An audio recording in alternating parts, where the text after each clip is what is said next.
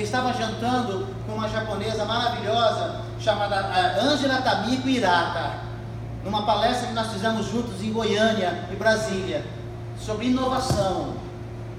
E aí, jantando ali, batendo um papo num restaurante legal lá em Goiânia, eu disse para ela, Ângela, conta para mim uma história que eu possa contar na minha palestra sobre a importância da participação das pessoas no processo de desenvolver ideias.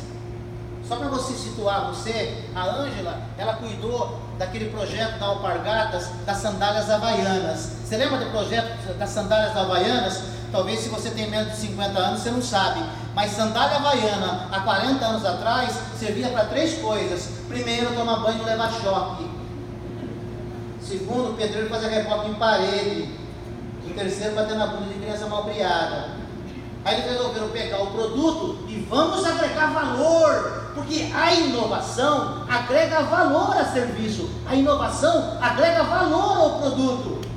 E a Ângela foi a líder responsável pelo projeto desenvolver as sandálias havaianas e mudar, e inovar. Inovação pode ser uma invenção, mas não tem que ser. Você sabe que hoje as sandálias havaianas custam 600 vezes mais do que custava 40 anos atrás. E é a mesma sandália havaianas, só que não é a mesma. Pode, hoje uma sandália havaiana custa 1.200 vezes mais. Daqui a pouco você está pensando em inovação, eu vou ter que inventar agora o quê? Não, você que observar o que você tem. E aí eu quero chegar no ponto de, é, da participação de todos. Eles estavam decidindo quem é que seria o garoto propaganda para divulgar na Europa as sandálias havaianas, na época a grana tinha para contratar astros de Hollywood. E tinha que começar por onde? Pela França, Paris ou Milão. Mas principalmente Paris. A equipe foi para Paris, para lançar na França. Porque se, se a França pegar, se a moda pegar em Paris, pega no mundo. Legal. E o garoto propaganda? E a garota propaganda? Tinha nome de artistas de top, top de Hollywood. Só que, espera um pouquinho, era uma reunião de equipe. Ninguém pensa sozinho. Aí um sujeito participante ali levantou o dedo e disse para ela assim: Olha, um montão de artistas de Hollywood ali, Leonardo DiCaprio, Jack Nixon, Angelina Jolie, todas com possíveis potencial de garoto propaganda das sandálias havaianas. E no meio ali do grupo da Ângela tinha um garotão, São Paulino, que levantou o dedinho e disse assim: Por que, que a gente não contrata o Raí? Aí a Ângela dizendo, eu perguntei para ele, o que que é? Quem é Raí? Ela disse, Alfredo, eu não sabia nem quem era Raí. Sim, mas o São Paulino sabe quem foi Raí. E na época Raí bombando no Paris Saint-Germain, um dos times lá da França. Bombando, fazendo gol, jogando bem e tem mais, bonito. Bonitão. Bom, eu sei que foram pesquisar o cachê de Hollywood e aí foram pesquisar o Raí e fecharam com o Raí. É, menos de 10% do cachê de um medalhão de Hollywood. Que economia que uma opinião dessa trouxe para um projeto desse? Que economia que você pode ter ouvindo daqui a pouco um entregador teu? Ouvindo daqui a pouco um vendedor que vê problema todo dia. Olha, quem vê problema todo dia, quem vê problema toda hora, é a galera que está lá de frente com o problema. Só que daqui a pouco um cara trabalha com você lá faz quatro anos e você nunca escutou nada dele, você só manda nele, você só manda nele, você só, só manda nele e quem pode manda e quem tem juízo obedece. Aí você fala, a minha equipe não é criativa. Claro que não, não tem chance. Agora, vamos abrir a mente, vamos buscar ideias. Divida os problemas com o seu time, não fique só com você. E inovação pode ser uma invenção, mas não tem que ser. Para inovar, precisamos promover mudanças contínuas. Não significa que o chão da fábrica vai resolver o seu problema. Não, mas você pode ter boas ideias lá. Às vezes uma ideia desse tamanhozinho de uma pessoa, quando é colocada na mesa e levada para a mente de uma outra pessoa, uma ideia desse tamanhozinho vira uma ideia desse tamanho e às vezes vira uma ideia desse tamanho. Uma ideia quietinha na mente de alguém não vale nada. Uma ideia legal, exposta e dividida na mente de várias pessoas pode se tornar uma ideia desse tamanho, evoluir. E mudanças? É o pai. Dá para inventar uma Coca-Cola nova? Como é que vai inventar uma Coca-Cola nova toda hora? Não dá para inventar uma Coca-Cola nova toda hora. Mas dá para inovar? Claro que dá para inovar. Tem a Diet e toda ideia tem que dar certo? Não. Se você chegar aqui no bar e falar, dá uma Coca Diet, o rapaz vai falar, não tem. Você chega lá na Guaíba e pergunta, pede lá para o pessoal, dá uma Coca Diet. Não tem. Não deu certo. Ah, e não deu certo, então não vou fazer mais nada. Não deu certo, tente de novo. Lembra de Winston Churchill? Nunca, nunca, nunca desista. Aí que está o detalhe. Aí vem a Light e vira. Inclusive a Light, você que viaja sabe disso. Ela já voltou com tudo nos Estados Unidos. E a própria Light, essa latinha aqui, eu tenho que atualizar essa foto. Porque a Light mudou a fórmula de novo agora. Eu, inclusive, adoro uma Coca-Cola. Olha aí, ó. tem a Life, com açúcar mais, é, mais, mais orgânico. E o sucesso? Essa eu experimentei na APAS, há uns 15 dias atrás. Eu fiz duas palestras na APAS. Aí eu cheguei lá, tinha duas coisas que eu adoro: adoro café e adoro coca. Falei, caramba, eu não conhecia. Aí o rapaz disse: Nós lançamos faz uns oito meses. Olha aí, ó, é a Plus Café Expresso. Legal, juntou as duas coisas. Eu, como viajo muito, adoro viajar à noite, eu dava uma rebitadinha com coca. Dá uma coca e dá um café. Agora não, coca e café. Tomei duas antes da palestra. Nossa, pular, parece um saci blindado. Né? Olha aí, ó. então não para. Vai inventar uma coca nova toda hora? Não. E o lançamento de maior sucesso dos últimos 20 anos qual é? É a zero. O que engorda? Calorias. E o nosso refrigerante tem 320 calorias, 280, depende. Então o que, que a gente faz? Eles vão lá e tiraram, é zero. Quer comer um pão com mortadela? Quer, quer coisa? Pão com mortadela. Eu adoro vinho, mas casa é com coca ou com tubaína. E zero. Beleza, saborosa. E eu não sei se você está ligado, mas já está pronta a fórmula que vai queimar a caloria. 100 calorias, uma latinha, vai queimar. Só precisa de agora liberação. Mas a fórmula está pronta. Já pensou? Uma Coca-Cola que não é zero. Ela vai queimar, vai ajudar você a emagrecer. Ela vai queimar 100 calorias. Um cara como eu que adora coxinha, nossa, vai ser todo dia coxinha. Dá uma coxinha e duas cocas, arrebentei essa. Dá mais uma coxinha. Então as coisas não param. Porque o grande erro é falar assim, ó, eu já tenho uma academia e não tem nada mais para fazer, porque a academia é assim. E a minha academia tem 600 filiais e toda academia faz assim. Ah, eu tenho uma padaria e toda padaria é assim. Nossa, que saudade de pães maravilhosos que eu comi em algumas padarias em Limeira e hoje eu não como mais. Opa, oh, que saudade de restaurantes em Limeira que eu ia, que eu vou hoje já não é mais igual. Por isso que eu já falei umas três vezes aqui no Guaíba, porque lá eu vou igual era há 20 anos atrás. Então, o grande detalhe qual é? É achar que alguma coisa tem fim. Nada tem fim. A gente tem que estar sempre buscando melhoria. Quanto custa um quilo de café? Custa 14 reais. E quanto custa o mesmo um quilo de café dentro das cápsulas? Das cápsulas pode custar 300, 250, 300, 350, 400 reais. Ah, mas é o mesmo um quilo de café. É o mesmo um quilo de café. Só que está é, de um jeito diferente. Não esqueça disso. 50% de crescimento em 2018. Porque caiu a patente da Nexpress. Caiu a patente e aí, beleza. E você pensa que a Nexpress está preocupada? Vai numa loja Nexpress para você ver.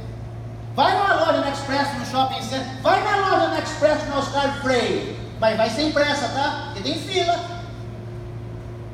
Tem café de limão. Tem café de cerveja. E não para. Inovar porque o cliente mudou. O cliente é um cliente diferente dos nossos avós. Inovar porque o cliente é um cliente exigente. Inovar porque o cliente é um cliente que quer mais. É um cliente que mudou demais é um novo consumidor. Lembra disso?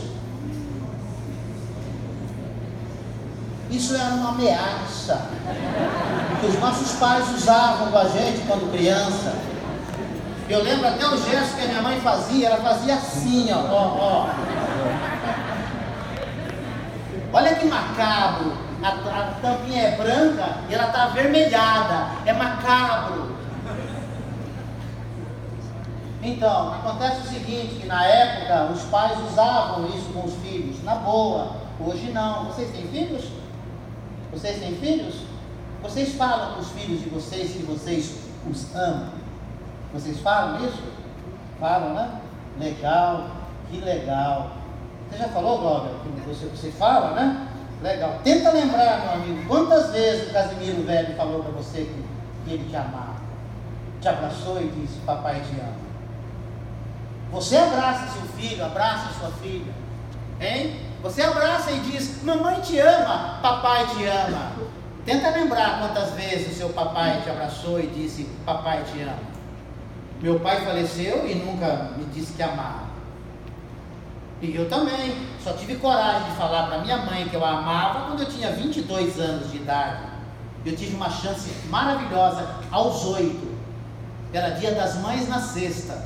Eu estudava numa escola lá na Tabajara. A dona Ivone treinou a gente de segunda a quinta. Para na sexta-feira só festa. Só que tinha que abraçar a mãe, entregar um presente e falar: Mãe, eu te amo. Inclusive a professora Dona Ivone treinou a gente segurar o presente com as duas mãos para valorizar, que era para a mãe. E o presente era o sabonete, palmo livre, desse tamanho, com venda em volta, parecia um paralelepípedo. Colado no meio ali uma, uma, um desenho segurava, entregava e falava para a mãe, mãe, eu te amo. Olhando no olhinho dela e beijando. Treinamos com a dona Ivone, a professora. Facinho. Mas aí no dia seguinte era sexta. E aí? Aí eu e mais dois amigos combinamos e falamos, da mesma fazenda, falamos que não tinha aula. E nós não fomos. O sabonete ficou escondido no meio da minha roupinha. Um dia ela descobriu por acaso, mas ficou lá. Isso é para usar. Por quê? Vergonha de falar eu te amo. Você sabe o nome disso, né? Chama bloqueio mental. Nossos pais não falavam que te amavam. Hoje não. Hoje você fala para o seu filho, então vocês têm filhos. Vocês não tocam isso aqui. Vocês não tocam isso aqui. Não, não, não. Vocês não. Porque vocês falam para os seus filhos que amam e, e mostra que amam. Então o que, que você quer? Você quer? Você quer um novo produto. Até a cor muda. Não é vermelho, é incolor. E o mote está lá em cima, bem destacado. Não arde, não arde. Se você escutar a musiquinha, é aonde tem amor, aonde tem carinho, aonde tem família, tem metiolate. Então, gente, é, inovar é o que? É você olhar o que você já tem também. E começar a pensar e ver que o cliente mudou, que as coisas são diferentes. O verdadeiro ato da descoberta consiste não só em encontrar novas terras, eu adoro essa colocação aí, ó, mas ver com novos olhos. Essa colocação é fabulosa do Marcel Proust. O verdadeiro ato da descoberta consiste não só em encontrar novas terras, mas em ver com novos olhos. Eu falei duas vezes porque é uma frase boa. Tem gente lá atrás que pode ser mil que não está conseguindo ler. Então por isso que eu falei duas vezes, porque essa é muito boa. Coragem de inovar, coragem de experimentar. E aí, eu adoro Gabriel, o pensador, Seja você mesmo, mas não seja sempre o mesmo. Boa pra caramba, hein? Essa eu uso nas minhas palestras e é uma das coisas que eu mais gosto de falar nas minhas palestras. Seja você mesmo, mas não seja sempre o mesmo. Muda, que quando você muda, o mundo muda com a gente. É um hip hop. A gente muda o mundo na mudança da mente. E quando a mente muda, a gente anda para frente. Faz 29 anos que eu sou palestrante. Essa é a minha primeira fotografia ministrando palestras. Essa foto tem 29 anos e eu adoro ela. Eu usava lousa, giz, apagador e cabelo. Eu fui abandonando algumas coisas. Cabelo não preciso falar. Sim, mas cadê a lousa? A lousa virou retroprojetor. Cadê o retroprojetor? Virou projetor de slide. E cadê o projetor de slide? Virou data show. Tem logo dois aqui, ó, com uns 15 mil. É isso, Giló? 10, 15 mil ancilumes, luz acesa e imagem legal. Tela de LED. Essa é a palestra da convenção da Ferracine Calçados que eu fiz no final do ano. Tela de LED. Hoje mesmo de manhã, a palestra aqui na Terra Viva, na Fazenda. Olha aí, ó. 600 funcionários, tela de LED. O sol aqui e todo mundo vendo nitidamente lá no fundo. E eu continuo sendo eu mesmo, o mesmo caipirão do interior, falando porta, falando carne, falando plástico. E tendo meu irmão Claudião, que está aí me assistindo hoje, que eu falo com ele no Brasil todo. Então eu sou eu mesmo, mas eu tenho que tomar um cuidado danado de ser sempre o mesmo. Apesar de eu ser eu mesmo.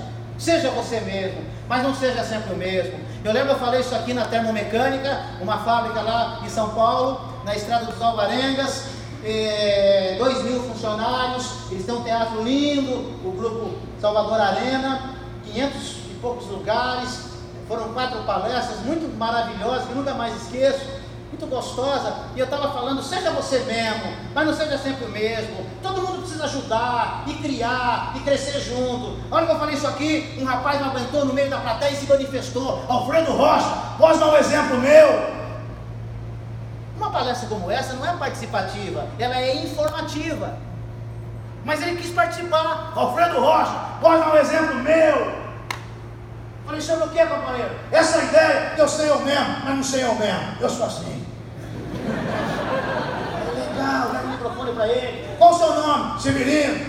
Falei, diga lá, Severino. Rocha, sou porteiro de fábrica faz 22 anos. Sabe como é que eu abri o portão de fábrica há 22 anos atrás? Mostrando que ele mudou.